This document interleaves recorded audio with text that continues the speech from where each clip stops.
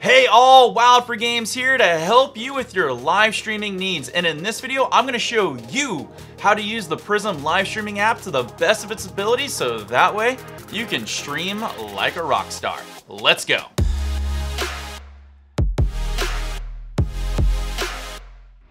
So if you're not familiar with the live streaming platform known as Prism, do not worry, I'm gonna put a card on the top of the video right here, or you can check out the links down below that'll get you caught up to speed on everything you need to know on how to use the platform. But in this video right here, I'm gonna show you the best tips, tricks, and advice so that way you can dominate with all of your mobile streams. Let's dive into it. Awesome tip number one is decide if you're gonna be using Wi-Fi or if you're gonna be using 4 or 5G for your upload from your mobile device. You see, depending on which one of these you pick, may have a stronger signal than the other, which is why it's important to decide before you hit that start streaming button if Wi-Fi is better or 4 or 5G is going to be better. So how do we know which one of these two is gonna be best? Well, that leads us into our awesome tip number two, is check the internet speed. There's a lot of apps out there like speedtest.net that'll allow you to check the Wi-Fi signal or allow you to check the 4 or 5G signal.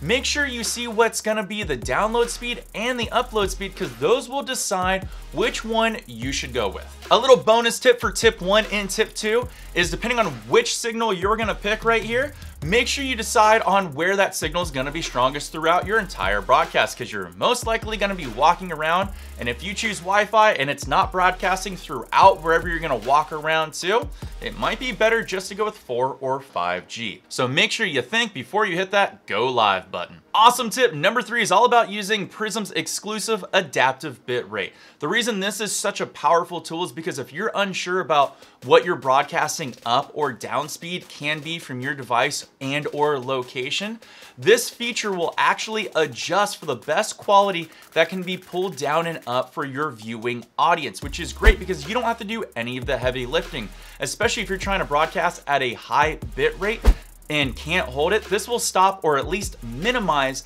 the amount of stuttering frames or drop frames that your viewing audience will have. So if you're unsure what you can broadcast at, make sure you have turned on that adaptive bitrate. Awesome tip number four is deciding whether or not you should be using 720p or 1080p for your broadcasts. For mobile streaming, both of these resolutions are completely acceptable for a viewing audience because they understand the limitations of technology. Now to broadcast at 1080p, it really comes down to a couple key factors. Do you have a new generation phone that can keep up with the camera resolution, the processor, and the RAM to allocate and buffer and render all that information in time? If you do, then 1080p might be the way to go for you. But likewise, you have to make sure you're in a good spot to again check for the internet speed coming down and up to broadcast out to your viewing audience. So make sure you check that Wi-Fi signal or whatever signal you're using, like we said in tip one and two. Now, if you don't meet any of that criteria for 1080p, it's okay to broadcast in 720p. 720 still looks exceptionally good from a mobile stream. And if you're really unsure about everything, you know, 720p is a great place to start. Tip number five is